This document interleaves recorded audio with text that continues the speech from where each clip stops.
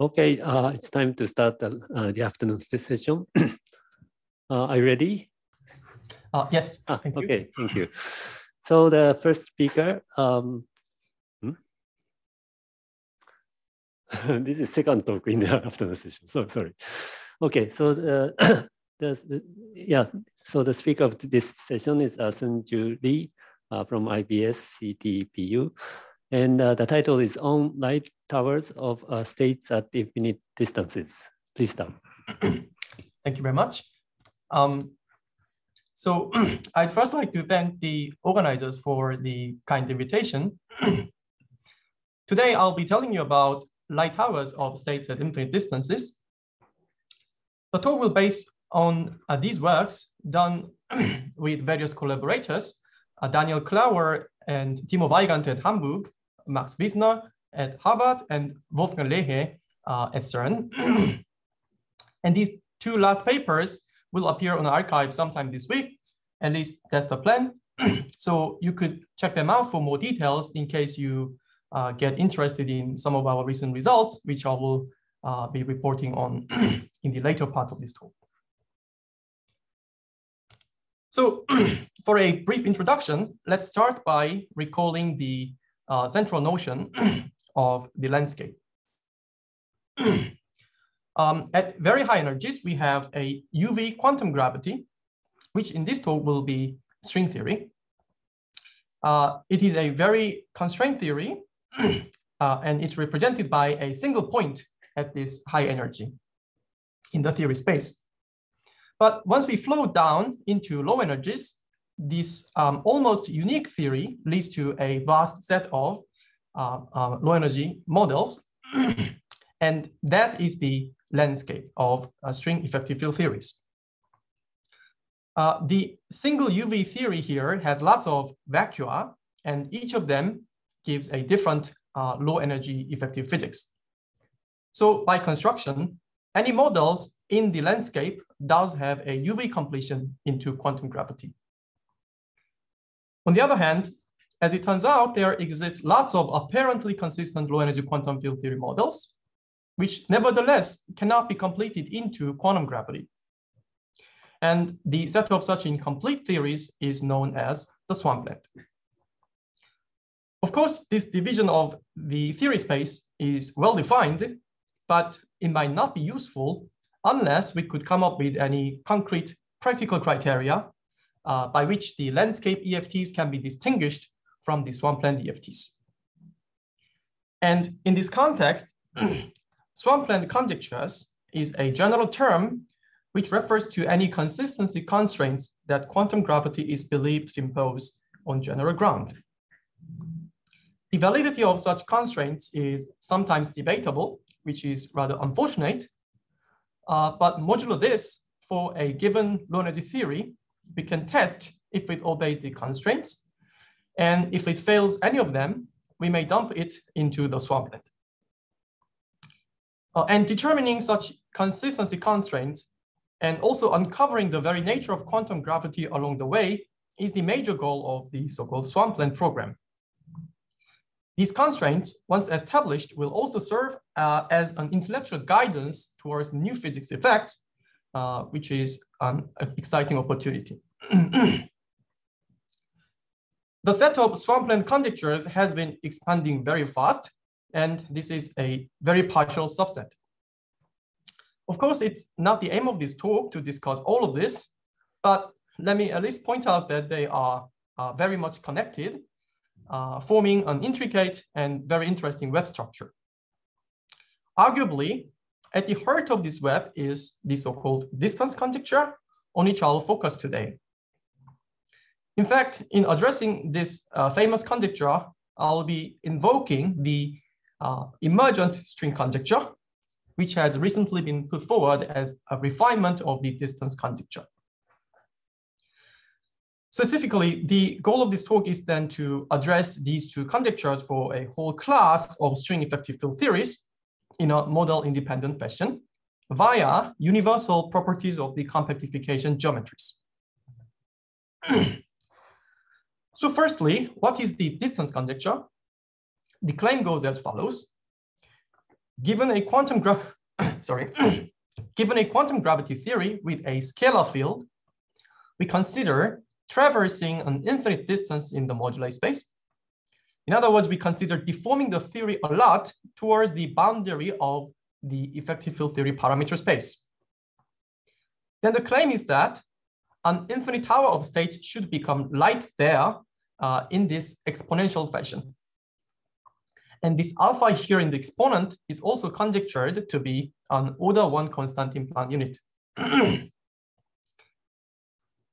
so this statement has indeed been confirmed in, in many string effective field theories, but uh, this still remains a conjecture.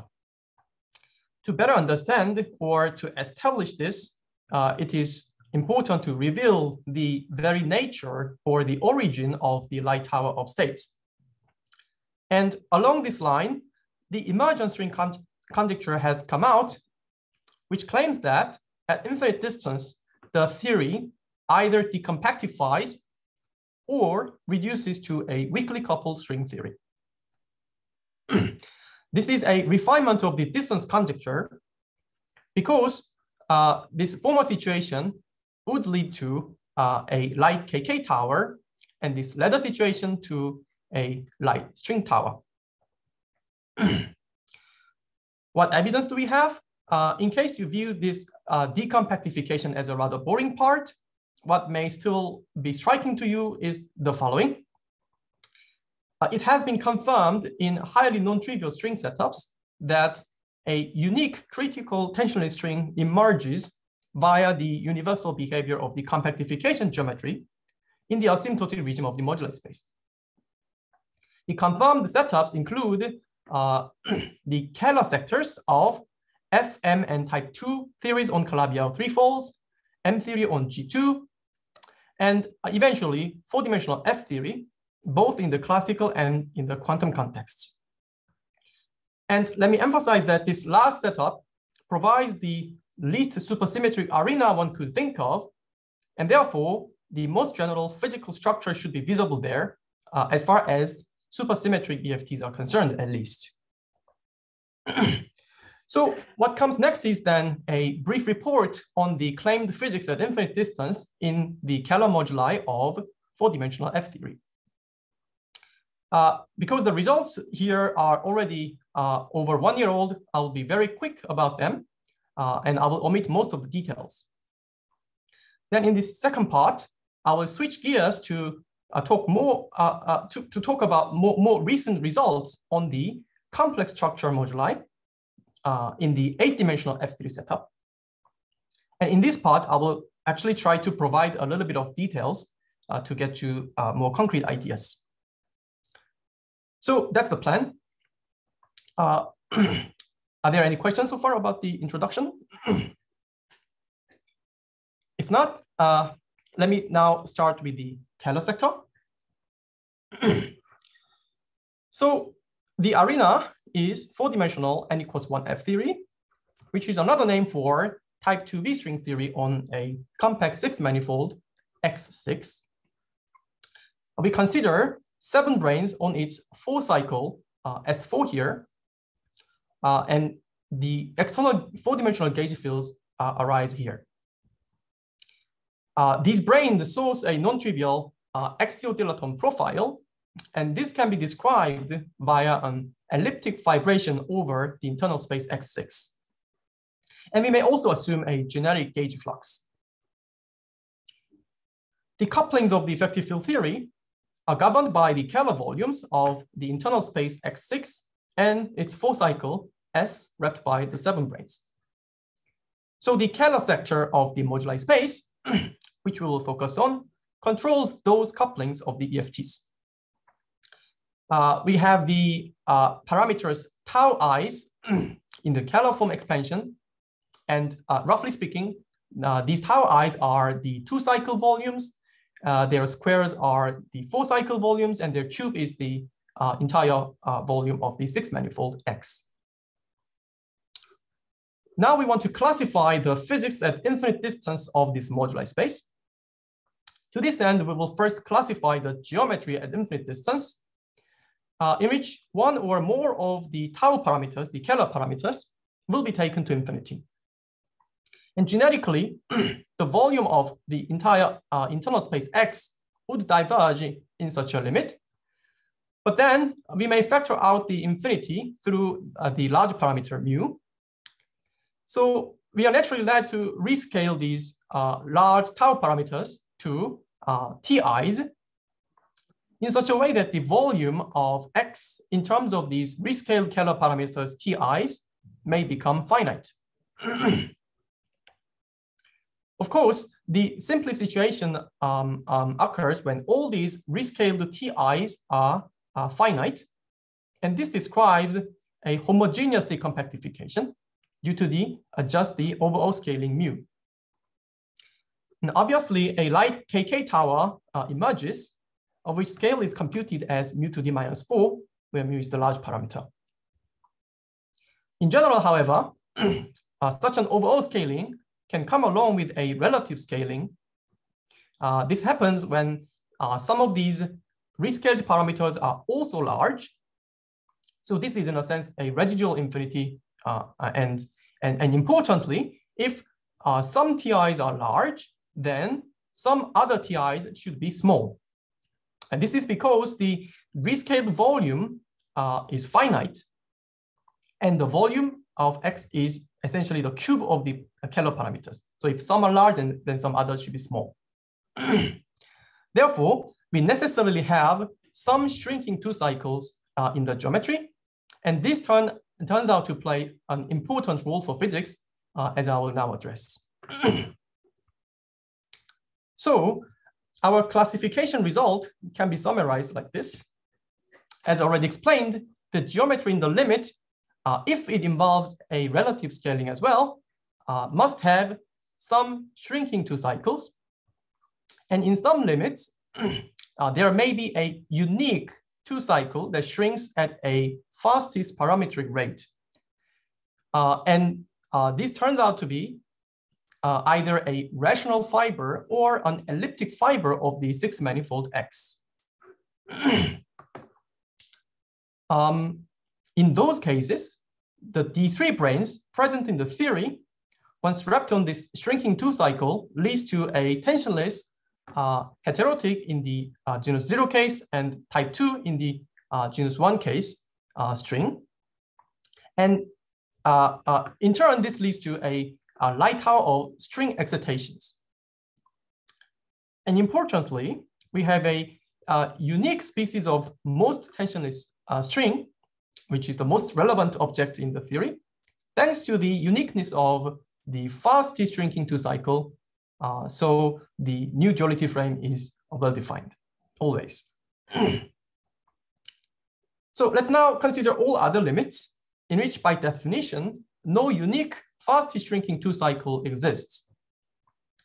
Uh, within this class of limits, uh, there arise two subclasses the first is the limit without uh, any shrinking two cycles to, to begin with. And this means uh, that no relative scalings are in play. And therefore, this indicates a homogeneous decompactification. um, the second subclass is the limit where uh, uh, shrinking two cycles are present, but more than one such cycle shrink together at the, at the same fastest rate. So um, naively, this is a, a, pathology because this leads to uh, multiple uh, most relevant critical strings in a given theory.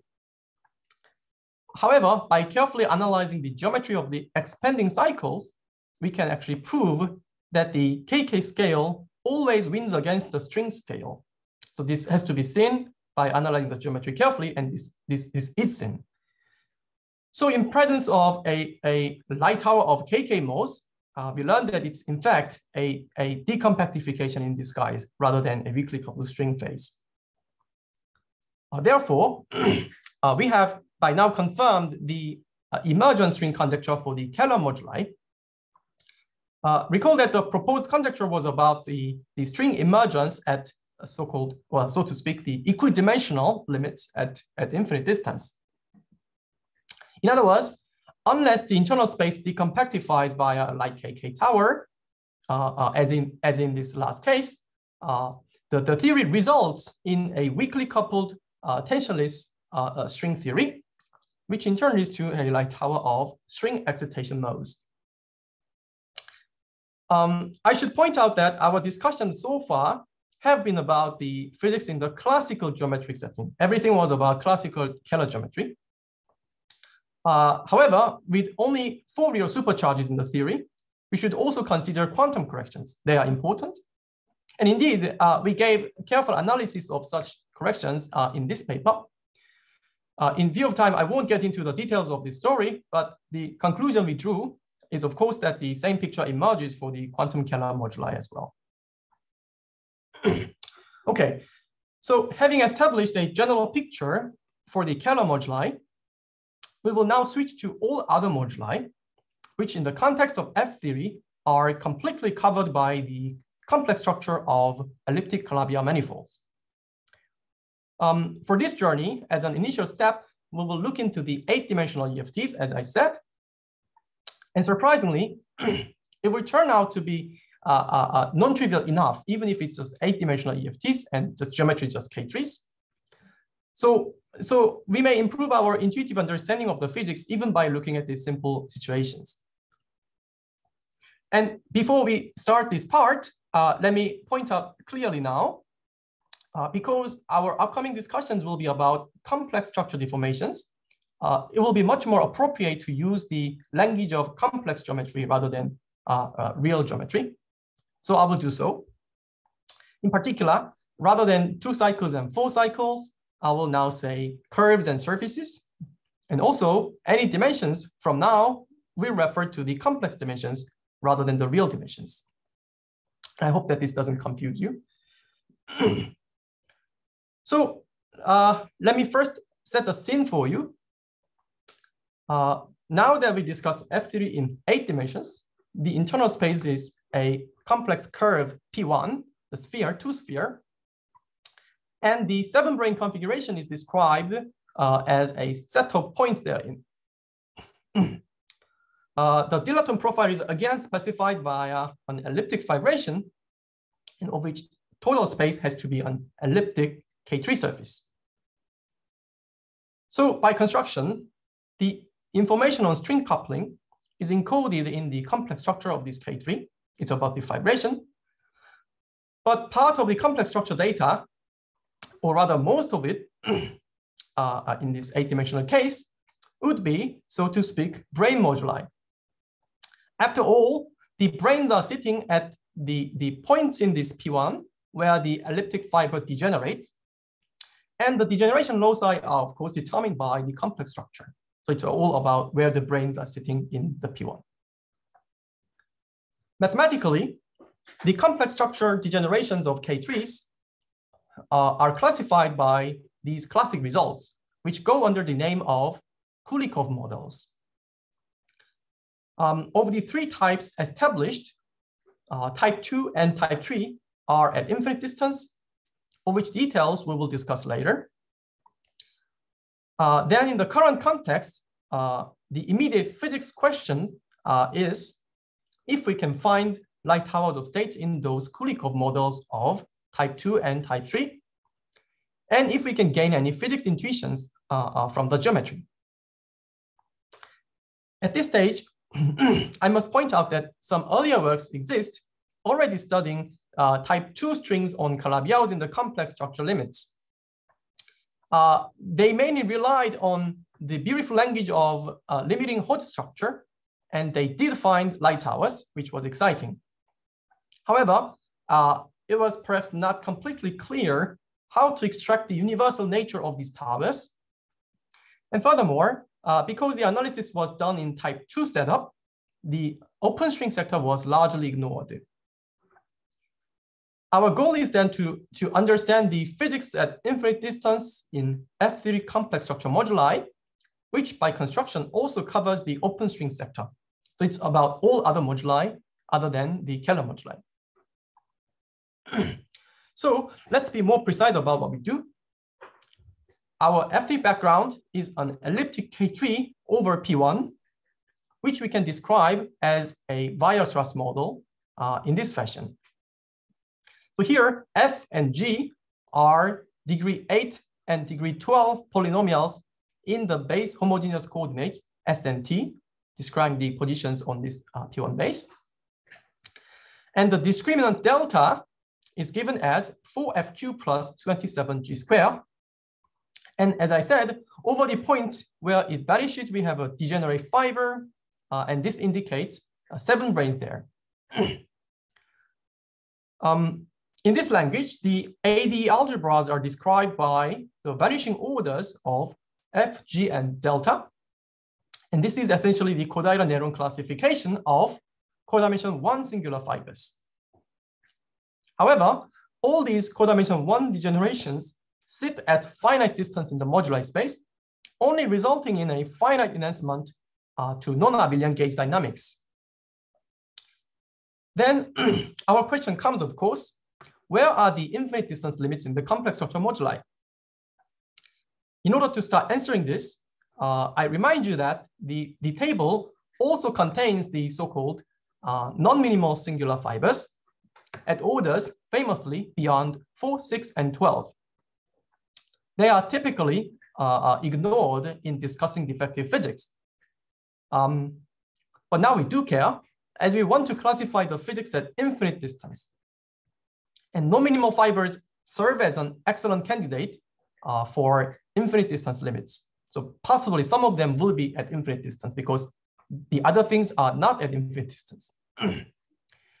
For a complete story, I should say that what's been ignored so far also is the potential generic singular fibers in codimension zero rather than codimension one, some of which may also sit at infinite distance. So these two are potential infinite distance limits, and we may want to analyze these uh, carefully in order to uh, study the infinite distance limits. So let me now report on our classification result. Firstly, for the geometry at infinite distance, um, our first major task was to refine the, the known Kulikov types, the two types, type 2 and type 3, into subtypes so that each subtype may exhibit a common characteristic feature for the effective physics. In fact, such a refinement for physicists uh, uh, had been known uh, at least for Kulikov type 2 models, thanks to this work by Clingher and Morgan. They refined type 2 into type 2A and type 2B. so our main contribution would be that the type 3 models are now also refined as type 3A and type 3B. Well, these are just words by now, but uh, let me continue for a little bit more. I will get you a bit more details uh, shortly. Um, and as it turns out, the potential infinite distance limits from a slide ago in the context of the uh, uh, Kodaira-Neron classification uh, indeed lead to these different subtypes. so for the experts in the audience, let me remark that uh, some of the candidate limits in fact lead to type one models at finite distance. But what's more important is that we do not miss any infinite distance limit this way because we are searching for all possible potential uh, uh, infinite distance limits through these uh, non-minimal fibers in codimension one and also genetic degeneration. uh, so far, it's all been about geometry. What about physics, of course? the moduli space of elliptic K3s uh, is, of course, viewed now as the moduli space of F-theory EFTs on K3. And uh, here is a one-page summary of all that can happen for the effective physics at infinite distance in complex structure moduli. Uh, indeed, each of these four subtypes leads to a distinct physical phenomenon. So for now, let me only read the major features for you. so type 2A, type 3A, and type 3B lead to decompactifications, either to nine dimensions or to 10 dimensions. And type 2B corresponds to a weakly coupled string theory. And notably, as in the Kähler moduli limits, the physics at infinite distance now in the complex structure moduli is again consistent with the emergent string conjecture. So it's either emergent string phase or the decompactification phase. Uh, in fact, the physical descriptions of type 2a and type 2b limits had long been known since uh, 96. And our, our own results are consistent with them, of course, as they must.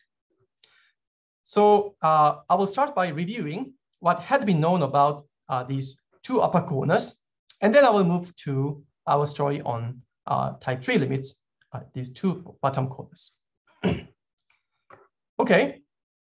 Oh, but before that, uh, let me first tell you what are the Kulikov models really? because I, I, I think not all of you might be familiar with this, this language, at least I was not before I started this project. So what we are interested in is the complex structure degenerations of K3 surfaces, uh, which can naturally be described by a threefold family, the Cayley X here, of K3 surfaces XUs, where the parameter U here sits in a unit disk. so this is the picture for such a degeneration as a threefold model. The degenerate surface is the central element sitting at U equals zero, the X0, and this decomposes into a union of component surfaces. uh, and I call them xi's. But the generic xu elsewhere than the, the u equals zero point are all smooth. And, and that's how we model the degenerate K3 surface x0. Now, Kulikov model describes a degeneration of a certain controlled type for the experts in the audience, uh, uh, the component surfaces xi's uh, should be uh, reduced. They have multiplicity one. And the singularities of x0 uh, must be of a very well-controlled form, the normal crossing type. And the threefold uh, Cayley X uh, as a whole must itself be also Calabi-Yau.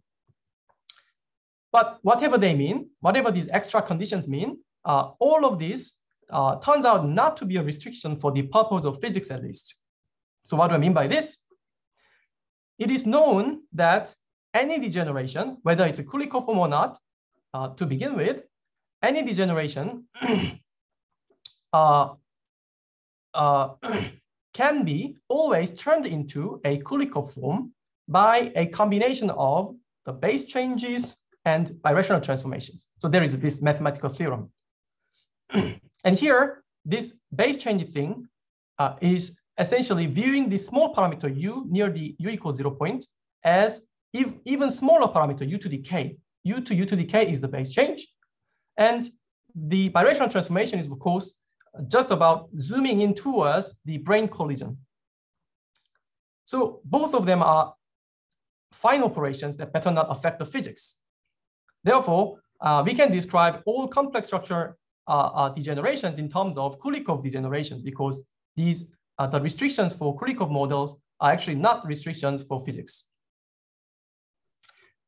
Then the Kulikov degenerations have been classified into three types, type 1, 2, and 3, where only type 2 and type 3 sit at infinite distance.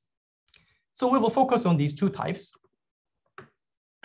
and here is part of the known features of these two types um, firstly, in type 2 models, as shown in this picture, the components xi's uh, form a chain of surfaces. And the adjacent components should meet at an elliptic curve. The intersection of the adjacent components should be an elliptic curve.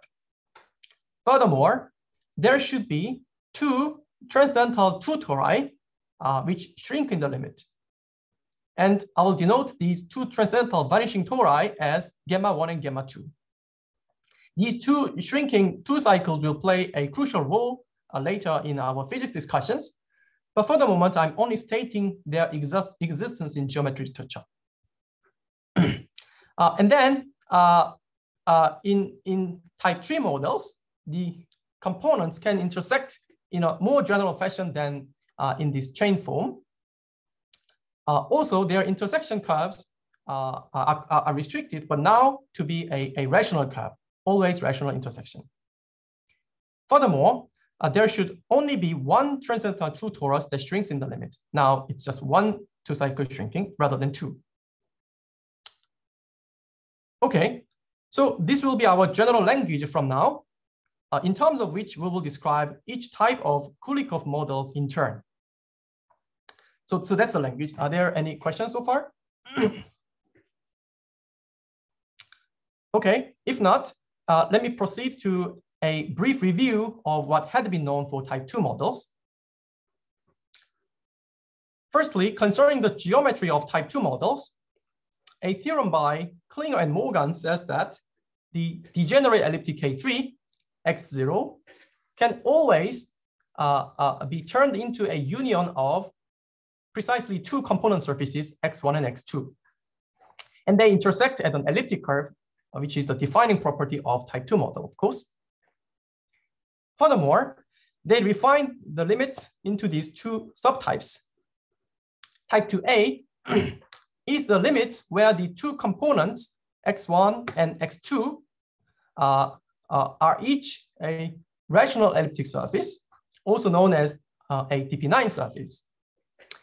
And the intersection curve E, x1, uh, x1 cup, sorry, x1 cap x2 uh, is nothing but the common elliptic fiber of these two DP9 surfaces. And this is the smooth, smooth elliptic curve. Uh, the rational bases of these two DP9s are denoted here by uh, B1 and B2. On the other hand, the type 2b is the limits where the two components x1 and x2 are each a P1 fibration over the base P1. They meet at the double cover of this space ramified over four points, which therefore is an elliptic curve. However, the geometric features of these two subtypes are rather distinct. what about what about their physics? Are they are they related at all? so firstly, uh, for type 2a limits, um, the uh, vanishing two tori are identified as the uh, two one cycles of the intersection curve, the SA here and SB here, fibered over a vanishing one cycle, the green sigma here in the base, which encircles the intersection point P of the two base components B1 and B2. Okay. so that's uh, the uh, gamma 1 and gamma 2, the two shrinking transcendental two tori. then firstly, from the M theory point of view, uh, M2 branes uh, wrapping these uh, transcendental two tori lead to two BPS towers of light states. And viewed from F theory, we are essentially considering uh, one zero string and zero one strings encircling this uh, green's, green cycle sigma. And both of them are allowed by the, the trivial monodromy around this intersection point P. So over P sits on I0 fiber. So you can fiber uh, any of these two cycles over this sigma. There's no monodromy here. so the physics is therefore proposed to be a decompactification to 10 dimensions um, due to the two towers of KK states. And this is uh, uh, most clearly confirmed in the dual heterotic picture, uh, where the Kähler modulus of the uh, heterotic torus is taken to infinity. so this really explicitly confirms the decompactification uh, phenomenon in this heterotic duality frame, uh, as it has been well known. for type 2b limits, on the other hand, the physics is very different apparently the, the A cycle of the elliptic fiber shrinks. So this shrinking uh, uh, uh, SA, the one zero cycle, endowed with the two uh, uh, one cycle, the sigma one and sigma two of the elliptic curve, uh, which is the intersection of the two components, um, they form the vanishing two tori gamma one and gamma two. And they are the two transcendental vanishing two tori uh, in these type 2 limits. Then M2 branes on gamma J's again lead to light towers. However, uh, a big difference from type 2A uh, is that uh, the M2 brane on the shrinking one cycle SA in the fiber gives a tensionless string. um, then this is very much unlike in the uh, type 2A case where SA was not shrinking. And in F theory, this is the geometry behind the famous Sen's limits, describing the weakly coupled type 2B orientifold on the type 2B torus E. Here it can be confirmed that the winding towers uh, and the weakly coupled string tower have the same mass scale. So you can just carefully check the geometry and you confirm this. And therefore, the string tower wins uh, because even if the uh, mass scales sit at the same uh, uh, energy scale, uh, because the string tower is much denser in the, in the spectrum, it always wins if it's the same scale as the KK tower. The physics is not a decompactification as before, but rather a weakly coupled type 2B string theory, still in eight dimensions. So that's been for type 2 models, type 2 Kulikov models. Let me now get into our results on type 3 Kulikov limits. So firstly, about our strategy, the um, central object underlying our geometric refinement is the, the Weierstrass version of the Kulikov model. So the Kulikov-Weierstrass model, so to speak, the Kuli Y, amounts to the usual fibral blowdown, uh, contracting all the exceptional fibers uh, uh, uh, uh in the Kulikov model, Kuli X. Then uh, each surface YU is itself a Weierstrass model over its own base BU. And the, the central surface Y0 decomposes into a number of uh, Weierstrass models Yi, each of them over a certain uh, base component Bi. um, furthermore, the generic fibers over Bi should be of Kodaira type I and I. This is because otherwise the degeneration does not obey some of the special criteria for, for, for X to be a Kulikov degeneration, it turns out. And we will often call Yi an I and I component. then another relevant geometric object is obtained by further blowing down all but one base components of Y0. There can be, uh, in, in general, a lot of components. And we, we blow down all of these base components except one. and that's, that's the heted Y. And by construction, uh, the new central element Y0 hat of this heted model um, must have a non-minimal fiber in codimension one. Uh, this is because otherwise this heted model, blue one, cannot, cannot be blown up back to Kuli Y, contradicting the construction. So in this context, our claim is that the degeneration is of type uh, three um, if delta, the discriminant vanishes to order strictly bigger than 12, and of type 2a, if the order is precisely 12. uh, as you might have noticed, uh, we are implicitly assuming that capital P is actually positive. So capital P was actually, capital P plus one was a number of components. So if P was zero, then Y0 to begin with would have only one component, so you cannot blow down along the base. Uh, and it, it turns out that this is where type 2B Kulikov models sit. So if capital P was is zero, then there can be type 2B models. If capital P is positive, then you can have, you can characterize type 3 versus type 2A in terms of the vanishing orders of the non-minimal fibers in codimension 1. Um, so uh, for this reason, we can easily distinguish type 2A from type 2B Kulikov models already in the heted single component configurations. However, in order to refine the type 3 models, uh, the heted version is not uh, good enough. And we, we, need to go back to this um, multi-component configuration, which is an outcome of only the fiber blowdown of the Kulikov model. And here is our main theorem. so concerning the refinement of type 3 models, now at the level of, as I said, the Kulikov Weierstrass model CoLY, we claim that the Weierstrass model of a type 3 Kulikov model always decomposes the central element Y0 into a chain of component surfaces where the, the, the capital P here is bigger than equal to 2 so that some middle components are always present. So first of all, it's a, it's a chain form.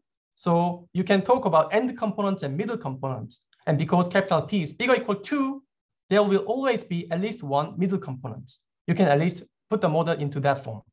So that's part of the theorem.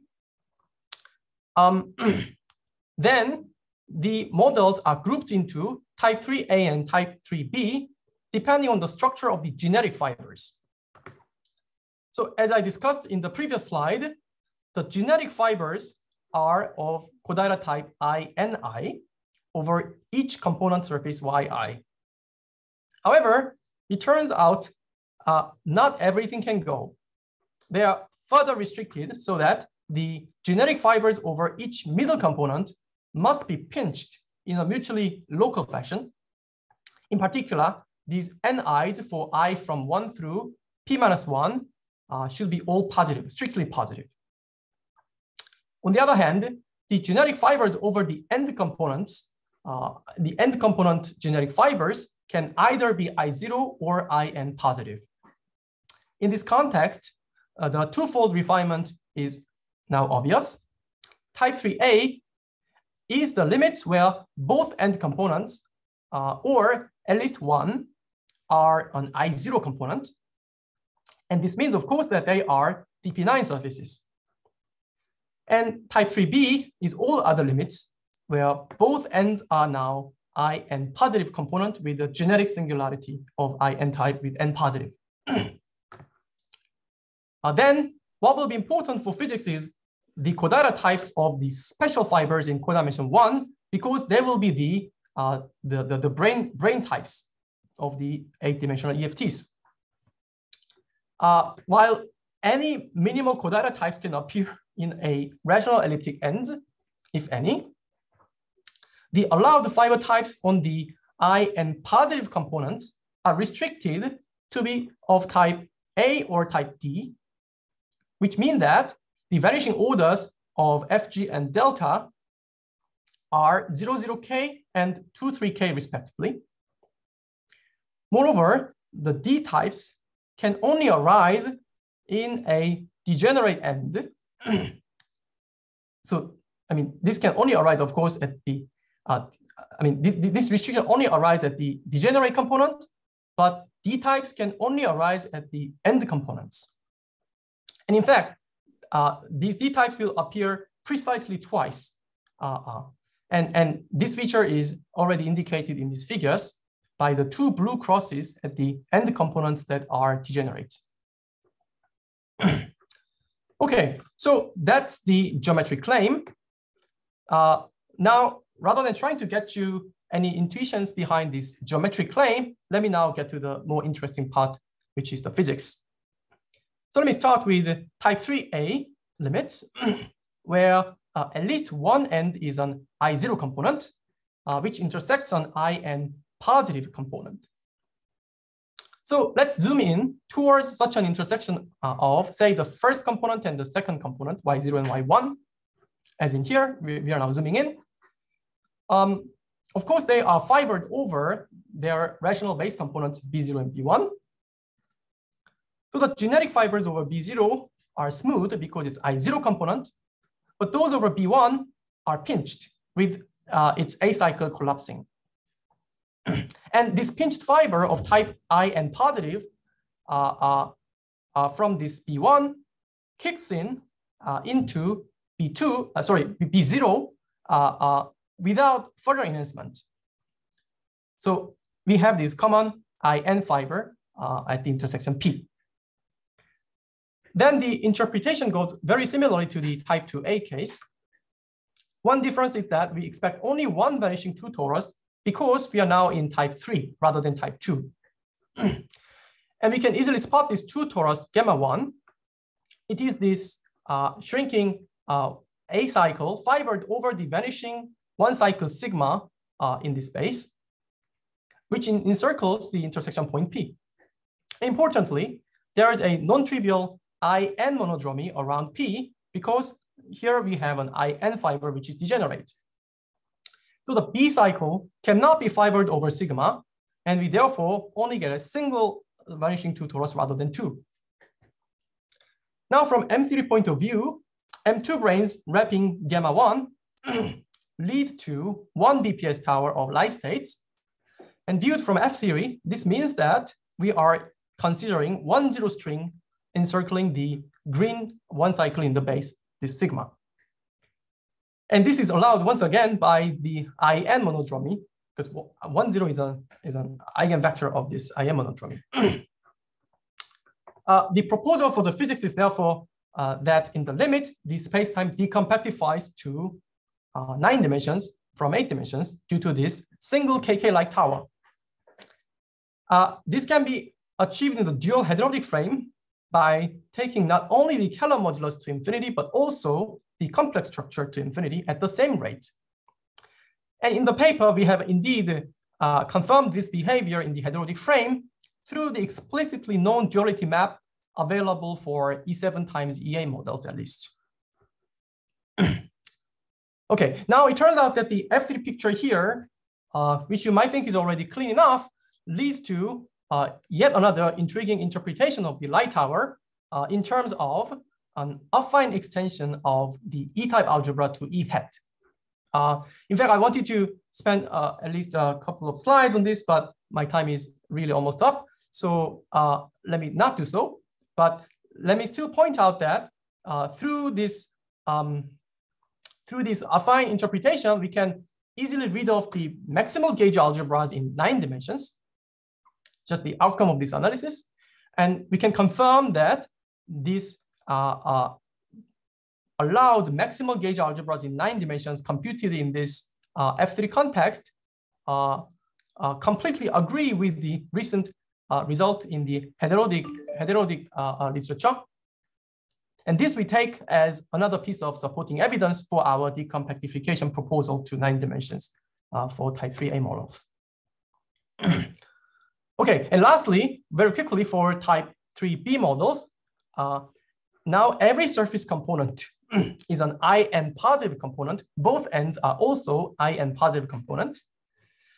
Again, there arises uh, one vanishing two torus, just like in type 3A, we identify this as the 10A cycle over the vanishing base one cycle around the intersection point. Uh, this from M theory gives a KK-like tower once again through the M2 brane wrapping. However, uh, M2 wrapped on the fibral A cycle itself gives a tensionless string. And importantly, uh, this string is globally defined, unlike in the type 3A situation. There we had at least one end component, say here, uh, over which A cycle is not collapsing. So this tensionless string was not globally defined, but now it is globally defined. So this weakly coupled type 2b string is present just like in Sen's limit, that is as in, as in type 2b limits, type 2b Kulikov limits. However, this time the KK scale turns out to be lighter than the string scale, already implying a decompactification. Uh, one might then naively think that the, the theory decompactifies to nine dimensions. However, as it turns out, what happens in the F theory frame uh, is that the complex structure of the type 2b torus degenerates with, with the Kähler volume fixed. So we end up having two uh, KK towers. And here the degeneration is implied by the fact that the O planes should collide uh, for the vanishing order uh, reason, but uh, uh, in any case, it happens that it's in fact decompactification to 10 dimensions. So that's our claim. we, we claim that the theory now decompactifies to 10 dimensions for type 3B Kulikov models. Okay, so uh, there was some details. Let me now quickly summarize. The goal we had was to, to first test if light towers of states arise at all at infinite distance in the moduli space. And if so, to also clarify the nature or the origin of those states. Uh, the conjectural claim we wanted to test was that the light states are either KK mode or excitation modes of a, a critical string that is asymptotically weakly coupled. So we took the non-perturbative F theory as a testing ground and have analyzed the four-dimensional EFTs at infinite distance in Kähler moduli um, uh, and, and, and the 8DF theory EFTs in the complex structure moduli. The conclusion, just to simply put, is that the geometry exhibits universal characteristic features in the asymptotic regime of the moduli space in such a way that the resulting physics always conforms with the emergent string conjecture. So that's what I wanted to convey to you today. Uh, thank you very much for, for your patience. Thank you.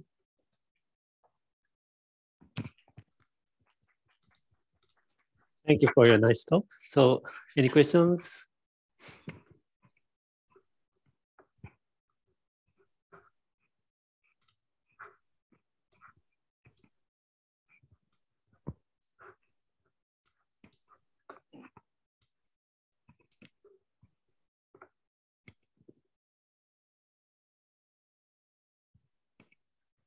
Um, no question?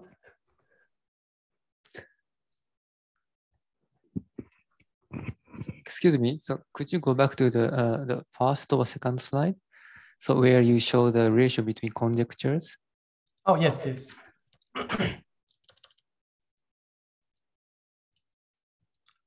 Too many slides, sorry. Oops. Uh, yes. oh, thank you. So, so uh, I'm not familiar with the, these conjectures, so I, I have very naive question. So, sure. Uh, so, so you have an arrow from emergent string conjectures to distance conjectures. Yes. So, so, uh, so what does this arrow means? So, ah, okay. So, so as I said, okay. So I've only discussed these two conjectures in this talk. Uh, the distance conjecture, as I said, is about the appearance of uh, tower of light states at infinite distance. Uh, but this does not claim uh, what kind of nature this tower of states has. Now, uh, the emergent string conjecture claims that uh, at infinite distance, a tower of light states of a certain, uh, uh, with a certain property should appear. And that's the sort of stronger statement, which implies the distance conjecture, which is weaker. So in, in this sense, it is a, in a sense, refinement, but also the latter implies the former. I see. So emergent string conjecture is more uh, stronger than distance conjecture. Uh, yes, I mean, oh, uh, yeah, in, in, a sense, yes, yes. I see. and, and then, so I, I'm also, uh, yeah, have one, one more question. So, so what's the relation between distance conjectures and no global symmetry? Yeah, so, so yeah, all of these conjectures are very, very much connected. So I, I, I, I I didn't want to go through all of this, so I have to think. Um, distance conjecture is about, um, indeed, it's, it's about appearance of, okay, so particularly for the infinite distance limit in which the uh, gauge coupling is going to zero, for example, that's one infinite distance limit you can imagine. However, the distance conjecture says that if you try to approach that infinite distance limits in the moduli space, then there should arise an infinite tower of very light states. So the effective theory breaks down. This means that you cannot actually reach there. So in that sense, you cannot have a, a gauge symmetry that is uh, uh, becoming global because that can only happen at infinite distance where the effective theory breaks down. So in that sense, uh, in a sense, uh, distance conjecture implies no global symmetry. Maybe that's the connection I, I wanted to I see. Okay. Thank you very much. Yeah, thanks for the question. Any other questions? Uh, let me ask one question. So, um, you um, you in, at some point you you consider the, uh, the case that uh, the discriminant discriminant is uh, the larger than twelve. Yes. So uh, so you, you can take any value or up to twenty four or something. Oh, good question. Um, um, I think, okay, I have to think carefully, but I think um, you can make it very large, if you like, by this freedom of what I call the base change. Where was it? uh, what I call this uh, base change. Oops, yeah, this base change will uh, be uh, will allow you to increase the vanishing orders as much as you like. But I think you can always put it in such a way that the vanishing order is less than 24. I think I, I have to be I have to check, but I think 24 was in some sense maximal, if, oh. I, if I recall correctly. But yeah. I see. Thank you. Yeah, thanks. For uh, and one, one, one more. So uh, you also consider the case that uh, um, the decompactification is uh, up to 10 dimensional. Yes. So, uh, so is this 10 dimensional case? It's a, a 10 dimensional heterotic string or which string? Yeah, so good question. So once again, the type 2A, okay, let me first show you the global picture. Yeah, so this is the global thing, the global global picture of the uh, corners of the uh, moduli space. so here you see uh, type 2A Kulikov models correspond to 10-dimensional decompactification. And here, the right duality frame is the heterotic. -huh. Uh, here is another 10-dimensional decompactification, but here it's about the weakly coupled type 2, uh, it's about type 2B setup. Because the type -huh. 2 string uh, in 10 dimension can happen in mm -hmm. type 3B Kulikov models. And heterotic to 10 dimension can happen for type 2A Kulikov models. I see. And this heterotic is uh, E8 cross E8 one? Good, very good. So that's the hallmark of the distinction between type 2A and type 3A. so yeah, I didn't have time to discuss the affine algebra and loop algebra extensions, which is actually very nice in view of detecting the gauge algebras. But mm -hmm. now you ask, um, so the, the quick answer is that indeed the type 2A to 10 dimensions is indeed E8 times E8. Uh -huh. However, to nine dimensions is uh, allowing for, of course, lots of rooms for slightly broken gauge algebras. And this is natural because for in the heterotic duality frame, you can imagine turning on some Wilson lines along the single S1 in 9D, mm -hmm. right? However, in 10D, you cannot. You cannot turn on any, any gauge background because there is no internal thing in 10D.